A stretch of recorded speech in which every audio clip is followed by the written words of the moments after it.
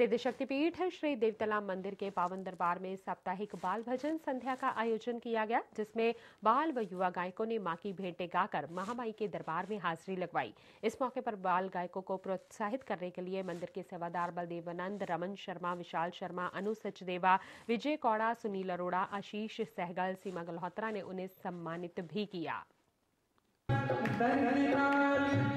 चीखदा मर जावे